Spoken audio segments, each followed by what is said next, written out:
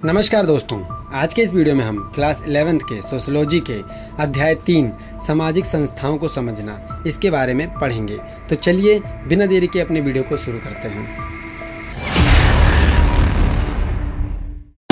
सबसे पहले हम जानते हैं, हम इस पार्ट में पढ़ेंगे क्या क्या तो देखो, पहला हमारा टॉपिक है सामाजिक संस्थाओं का अर्थ, दूसरा हमारा टॉपिक है महत्वपूर्ण सामाजिक संस्था, उसके बाद हम परिवार, विवाह एवं नातेदारी के बारे में पढ़ेंगे, और अंत में हमारा टॉपिक आएगा, जो है कार्य, राजनीतिक धर्म और शिक्षा।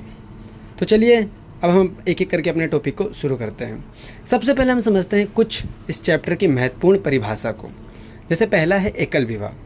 एकल विवाह हम किसे कहते हैं? जब एक समय में एक स्त्री या पुरुष का एक ही पति अथवा पत्नी होती है, उसे हम एकल विवाह कहते हैं। जबकि बात करें बहु विवाह की तो एक समय में एक स्त्री अथवा पुरुष का एक से अधिक पति पत्नी पाए जाते हैं, उसे बहु विवाह कहते हैं।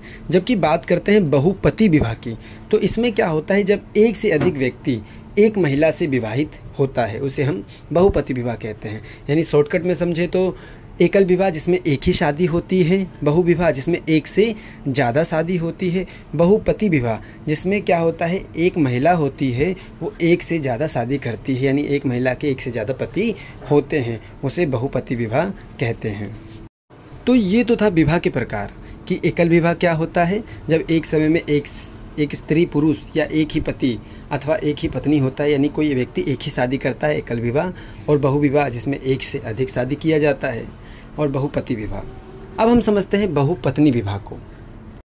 कि ये बहुपत्नी विवाह क्या होता है, इसके बाद हम अंतर विवाह और बाहरी विवाह को भी समझेंगे, जैसे जैसे हम चैप्टर में आगे जाएँगे। तो पहले समझते हैं हम बहुपत्नी विवाह क्या होता है। तो देखो, बहुपत्नी विवाह में जब एक व्यक्ति से एक से अधिक महिला विवाहित होती है, यानी एक पुरुष होता है और उसकी एक से ज़्यादा पत्नी होती है, उसे बहुपत्नी विवाह कहते हैं। जबकि हम बात करते हैं अंतर विवाह क्या होता है अंतर विवाही विवाह क्या होता है? तो देखो जब ना एक ही समूह के लोगों के बीच विवाह होता है। यानी एक ही समूह, एक ही जाति के बीच में क्या करते हैं? आपस में विवाह कराया जाता है।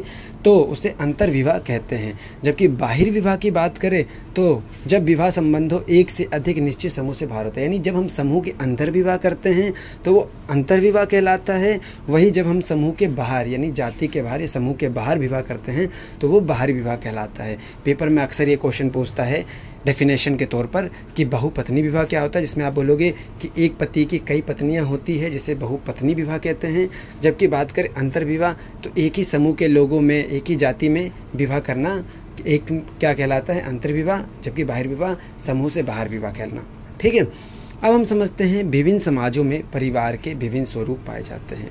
देखो, हम कई समाज के बारे में जानते हैं, समाज के कई रूप भी होते हैं तो अलग अलग समाज में ना परिवार के रूप भी अलग अलग पाए जाते हैं।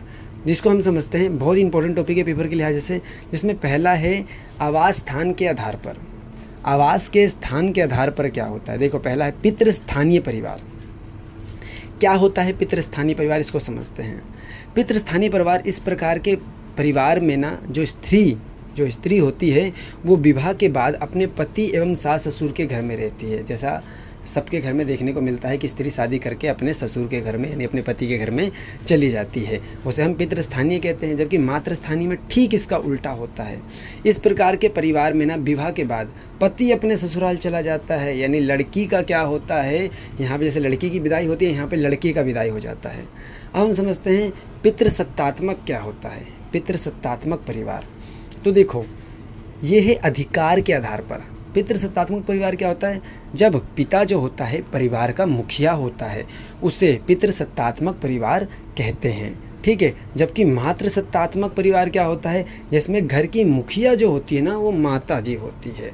इसके अलावा बात करें वंश के आधार पर भी हमने बांटा है। तो वंश के आधार पर क्या है? देखो, वंश के आधार पर मातृवंशीय और पितृवंशीय है। तो देखो, जब हम बात करते हैं मातृवंशीय की तो वह समूह जिसकी नातेदारी प्रणाली महिलाओं के माध्यम से अपने पूर्वजों की वंशावली का पता लगाती है।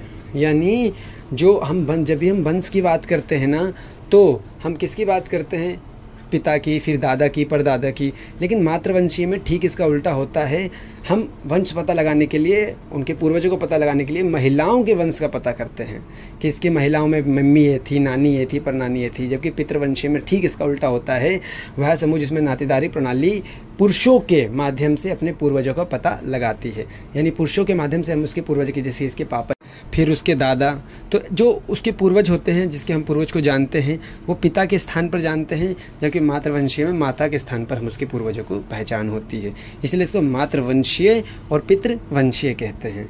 तो पहले हमने पढ़ा अधिकारों के आधार पर, जिसमें पितृ सत्तात्मक और मातृ सत्तात्मक पढ़ा, फिर वंश के आधार पर। अब हम समझते हैं परिवार और परिवार के स्वरूप में परिवर्तन कैसे कैसे आ जा रहा है। देखो, जब भी हम परिवार की बात करते हैं ना तो आज आज परिवार दो प्रकार के हैं, एकल परिवार और संयुक्त परिवार। एकल परिवार यानी सिंगल फैमिली, जिसमें माता पिता और उसके बच्चे होते हैं, जबकि संयुक्त परिवार में माता पिता दादा दादी चाचा चाची सब मिल के रहते हैं। फिर हम बात करते हैं आज के परिवार के स्वरूप में परिवर्तन क्या आ रहा है। कई परिवर्तन आ रहे हैं। जैसे देखो, संयुक्त परिवारों का टूटना। आज क्या हो रहा है? संयुक्त परिवार में टूटते जा रहे हैं। पारिवारिक व्यवसाय हैं, उसमें भी कमी देखने को मिल रही है। जो परिवार का व्यवसाय है, वो भी क्या होते जा रहा है? कम होते जा रहा है।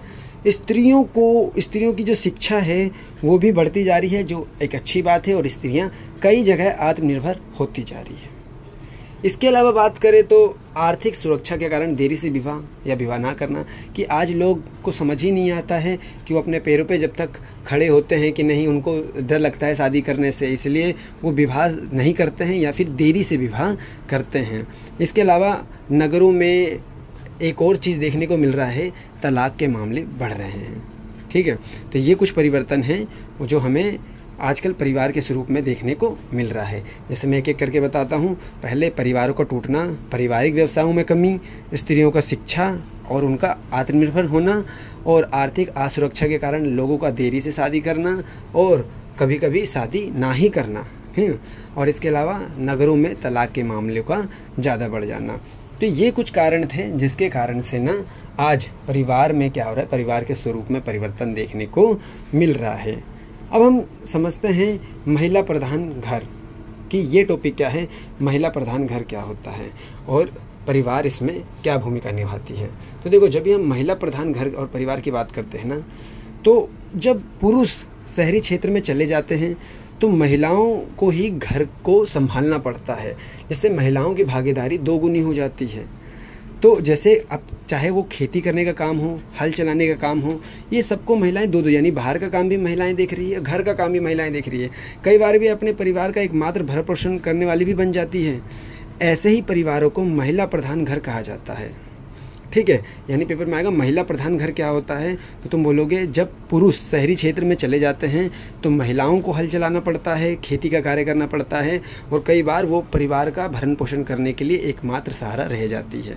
इसी को ही हम महिला प्रधान घर कहते हैं। उदाहरण के तौर पर ना, आप उत्तरी आंध्र प्रदेश में कोलम जनजाति समुदाय है, उसका उदाहरण दोगे। यह उसका सबसे अच्छा उदाहरण है, और पेपर में पूछता भी है कभी कभी एक नंबर का। तो ये जो है, इसका सबसे अच्छा उदाहरण है। तो दोस्तों, ये था इस वीडियो का भाग एक। इस वीडियो को हम कंटिन्यू करेंगे भाग दो में। ये वीडियो यहीं पर समाप्त होती है। वीडियो अगर आपको पसंद आए तो वीडियो को लाइक करें। हमारे चैनल को सब्सक्राइब करना ना भूलें और अपने दोस्तों के साथ को शेयर ज़रूर करें। मिलते हैं आपसे नेक्स्ट वीडियो में।